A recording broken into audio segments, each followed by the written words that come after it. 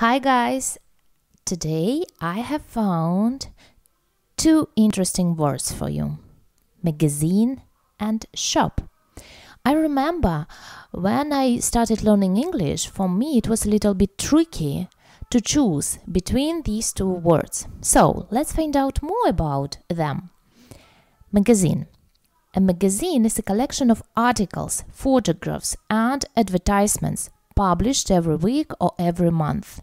For instance, her face was on the cover of every magazine. Tanya read a magazine while she waited. The second one is shop.